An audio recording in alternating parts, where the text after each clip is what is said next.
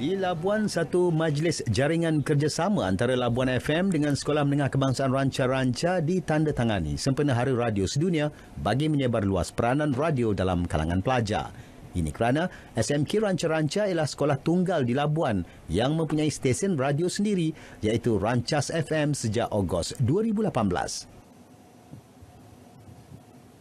Sebenarnya dari awal ni memang saya tidak berapa lah pandai. Sebab dulu saya memang kurang bercakap. Selepas saya masuk ke SMK Ranca-Ranca ni jadi DJ lama-lama berlatih, berlatih. Bolehlah bercakap. SMK Ranca-Ranca ini dikelilingi oleh enam buah kampung. Anak-anak mereka ini bersekolah di SMK Ranca-Ranca. Jadi kita ingin menyampaikan maklumat, berkongsi info kepada um, uh, komuniti setempat uh, untuk menerangkan tentang aktiviti-aktiviti yang ada di sekolah, maklumat-maklumat penting yang kita boleh menyampaikan secara langsung kepada ibu bapa dan komuniti.